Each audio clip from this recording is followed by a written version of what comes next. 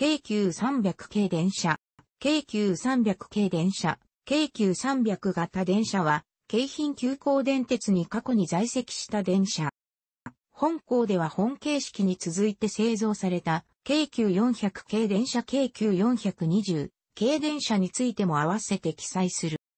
戦中から終戦直後にかけて製造された18メートル級車体、正面3枚窓、片側3扉、扉間窓4個の車両群である。各形式で若干寸法が異なっていた。突起のない限り、以下の文中では、各種文献に習い、京急本線上で南側を裏側より、または裏側方、北側を品川より、または品川方、東側を海側、西側を山側と呼ぶ。編成番号は裏側方線当社の車両番号で代表する。線形は1959年、昭和34年登場の線型を指すものとする。1942年、昭和17年に東急デハ5300型として20両が申請された車体長17.5メートル車幅2.7メートル級の反抗性車。この車体寸法がその後の京急ばかりか、都営浅草線や京成グループの標準寸法のもと取った。当初は京浜電鉄側で電動車26両と制御車15両、湘南電鉄側で電動車14両と制御車10両の発注が計画されていた。発注時は、京浜で201系8両、湘南で251系7両だったが、完成時には、両車は大東急に併合されており、この形式は幻に終わった。先に車体が完成したが、日立製作所製の電気部品が調達できず、しばらく生麦の車庫で待機し、電気部品が手に入ったところで1943年、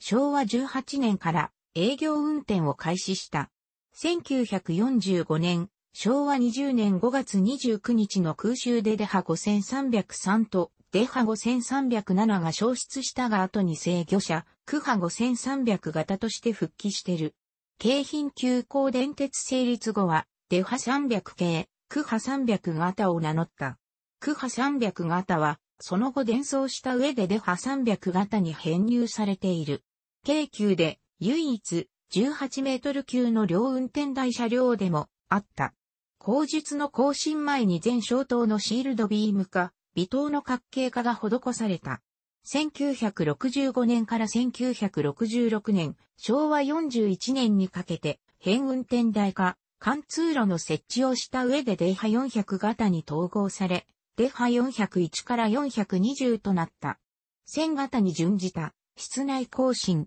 アルミサッシ化、一部の4両固定化に伴う、中間車化改造とパンタグラフ撤去、列車無線アンテナ新設とパンタの連結面移設、方向膜設置など、度重なる改造が実施されたが、1979年、昭和54年、三連化の上230型に変わり、投入されていた空港線を最後に旅客運用から外れ、6両は小改造の上では40経過車となった。なお、本形式の相方として区ハ5350型となる予定であった5両は、永福庁舎庫の空襲被災で深刻な車両不足となった井の頭線、現、京王井の頭線に投入され、デファ1710型となった。最終的には京王線に転属し、期間は異なるが、デファ1700型とともに、長軸台車が活かされることとなった。1947年、昭和22年、岡山県の三井玉野造船所で、木造車両の改造扱いとして重量が製作された。大東急分離以前であったため東急デハ5400型として竣工した。このデハ5400型は当時の東京急行電鉄品川支局発の片運転台 1500V 単電圧車両であった。当時は600、1500V の副電圧車と600 600V の単電圧車のみだった。京浜急行電鉄成立後はデハ400系、初代を名乗る。車体寸法は前期の5300型と同じだったが、いかにも造船会社の製作らしく、リベットが目立ち、ヘッドライトの指示方法にも特徴のある一種独の車体外観であった。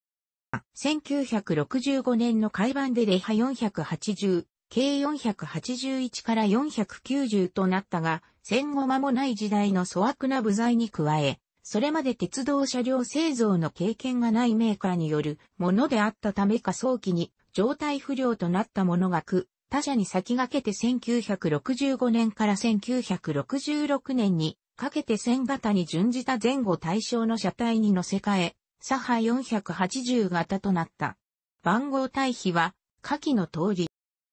サハ480型に改造後はデハ460グループの中間車として使用されたが、1980年、昭和55年、奇数号の車両が加速性能向上のため抜き取られた後、廃車され、残った偶数号の車両も相手のデハと共に1986年、昭和61年までに廃車された。末期には先に廃車となったデハ470グループから台車を転用し、旧デハ400系時代の面影は完全に失われていた。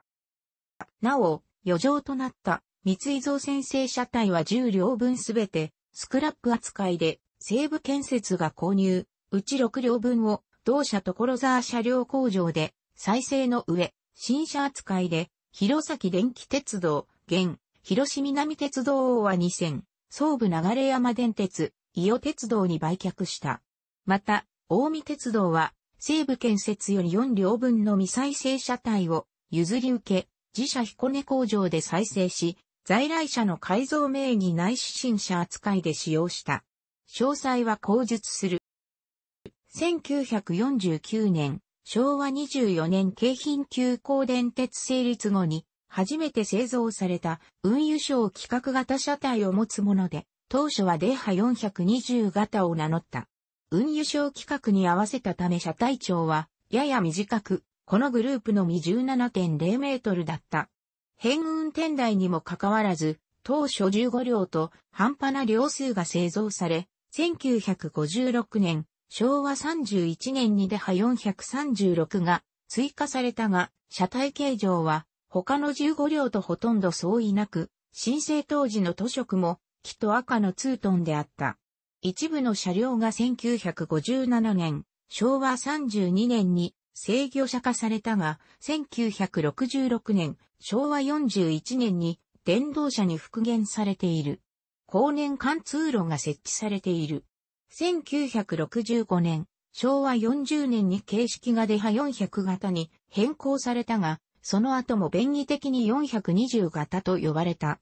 規格型申請当時の粗悪鋼材によるものか、更新修繕はデハ401から420よりも徹底され、原型を残しながらも外板は全面張り替えとなり、ノーシルの減った全金属車体化されたが、中間車化などは行われなかった。末期は主に、京浜川崎寿司海岸間の急行に充当されたが、1979年、昭和54年から廃車が発生し、1981年、昭和56年に全廃された。400系、420系、400系、420系、デハ400系の三井玉の請求車体が西部所沢工場経由で地方私鉄に譲渡された。すべての譲渡先で、休憩国電用などの 1067mm 台車に換装されている。京急残存車よりも長く使用されたものも少なくないが、いずれの譲渡先でも全車が廃車となりすでに解体されている。